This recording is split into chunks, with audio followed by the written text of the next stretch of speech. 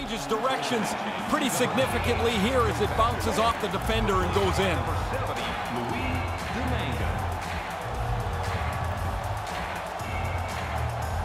Burlington's been dominant tonight as they make their way back to center. They have scored almost at will, in particular here in this second period. And now it's grabbed by Burns. Passes right to the front. Here's a shot. Big save. Nice move by the... goalie thought he had this covered, James.